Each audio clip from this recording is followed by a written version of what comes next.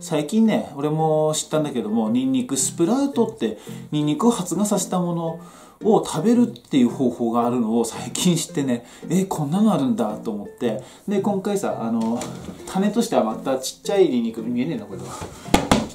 ね。こういうニンニクたちね。ちょっとこれねニンニクたち落ちた。ねを使ってあのニンニクのスプラウトを作って自分を食べてみようかなと思って、えー動画撮ってます。んで作業をしますんで画面下げます。よいしょ。ね。とりあえず種にする時に一回ばらしてあるんででやり方としてはまずこの薄皮を剥くとアップしようか。よいしょ。ね。この薄皮剥いちゃうんだって。これ表面のこの硬いやつねそうそうそうこうやってこうやって。よいしょ。ね。これがまず第一段階でねこういう状況にすると。そしたらあのスポンジねこれ切れ込み入れてきました。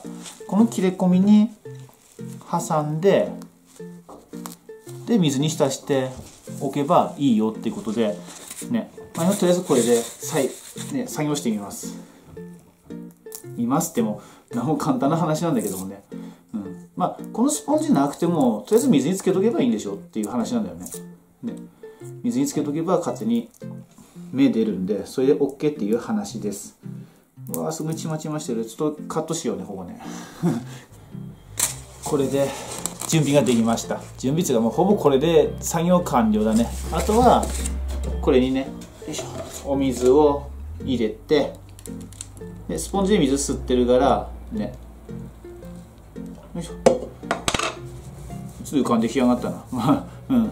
俺が調べたやり方だとこれでいいっていう話なんだけども、まあ、これで水がある状態を保ってで栽培すると。水は毎日変えればいいっていうことなんで、えーこれで様子を見てみたいと思います。とこの倉庫の中でマイナスになっちゃって育たないと思うんで家の中でやりますけどもこのスポンジ入れる入れるのに抵抗ある人は、まあ、ただただ水につけとくだけでもできてる人はいるんでそれで OK だと思うんで、えーやってみてください。でよいしょ。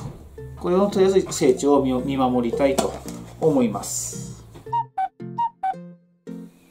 でニンニクを、えー、10日間だな。10日間、えー水耕栽培。水耕栽培っつうか水につけてあったかい部屋の中で栽培した結果こういう感じになりました。ね。えーっとどれいこうかな。お根っこ張ってる。スポンジの中に根っこ張っちゃった。わすげえ。えあやべえ。やばい。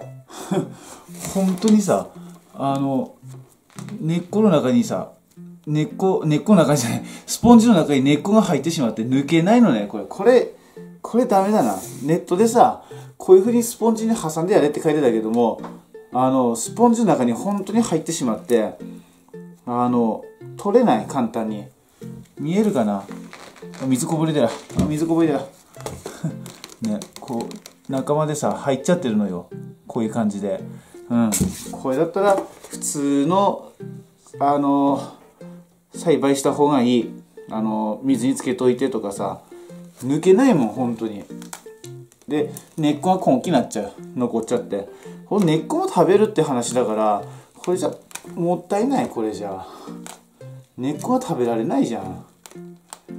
あ普通に水につけた方がいいです。これだったら。うわね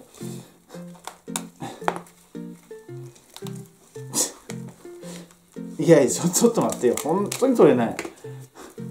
いやいや。ねほら根っこ残っちゃって。根っこも食べるっつうのにさこれじゃねちょっとねうんおすすめしない。今今初めて取ってみたけどさ。うんまあまあできなくはないけどね。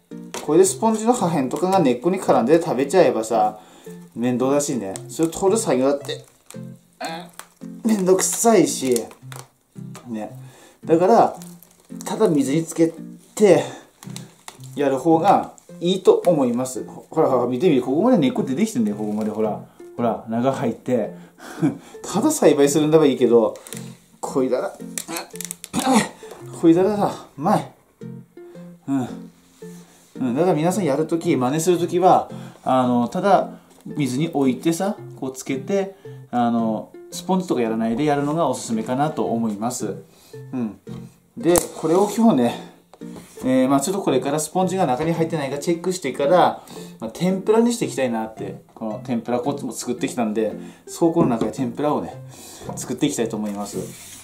本当にねこの根っこも全部食べちゃうんでで今ちょっと天ぷらの温度がね105度ぐらいになってきたんでもう少しあったかくなってから天ぷら揚げて食べてみたいなと思います。そうすれば控えめなやつをね天ぷらにしていこうかなって思います。あまり伸びてないやつねわい種飛ぶじゃ 根っこがさあのとか葉っぱが伸びてるからぴょんぴょんぴょんぴょん飛ぶね。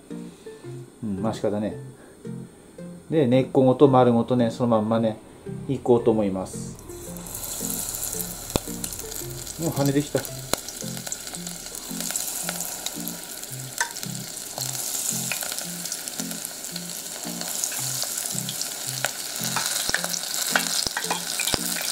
ガヤ跳ねる。なんなんだよ。根っこのとこに水あったがないって。ちゃんと衣つけてるんだけど。ね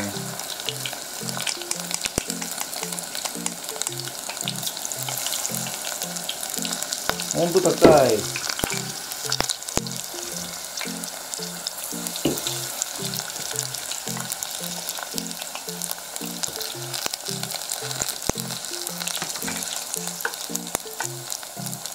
カットしたらいいのかな？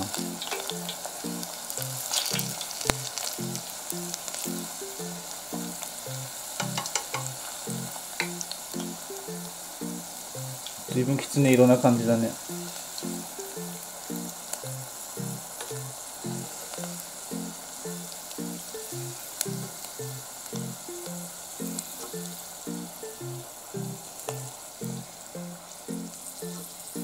結構早いけどさ色で見て。190度なんだ今これ。温度見るとね。見えない。テレ映像では見えないだろうけどさ。ちょっと高かったなと思って。天ぷらとか久々だじゃん。去年減量して体脂肪 6%8%6% までいったからさその時天ぷらとかも揚げ物も一切立ってたからめちゃくちゃ久々。こんなんでどうでしょう。ちょっとね葉っぱがねなんか残念な色してるね。ちょっと温度高かったかもしれない。まあそれでも食べるのには問題ないかなと思うんで今これからね食べてみたいなと思います。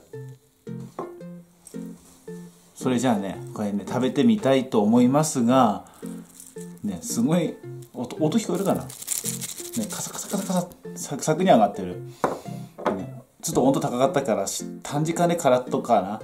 で余熱で 火通した感じだけど生だったら俺腹壊すっていうニンニクのね。まあ多分大丈夫だと思うけどもねちゃんと根っこもある。みみ3つが鱗片もある葉っぱもある、まあ、食べてみます。まず根っこから。き切れない。いきや。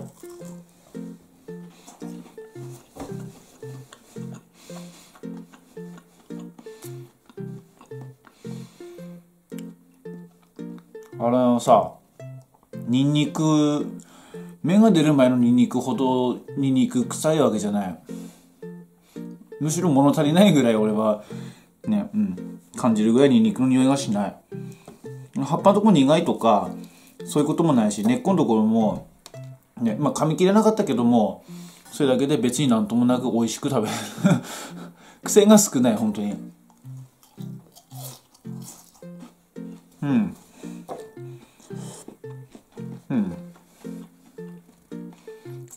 通。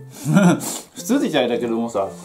でもニンニクのを丸々天ぷらにしたりフライにしたりするよりも臭くない。本当に臭くない。あの調べた段階でもこの成長する時にねこの葉っぱが出る時にアリシンだっけがの匂いが少なくなる。分解されるだからの中で食べやすくなるよっていうのは聞いてたんだけども調べてしてたんだけどもまさかここまでね食べやすいとは思わなかった。うん。うん。これがいいね。おつまみにいいんじゃない？お酒飲む人。俺お酒飲まないんだけど。うん。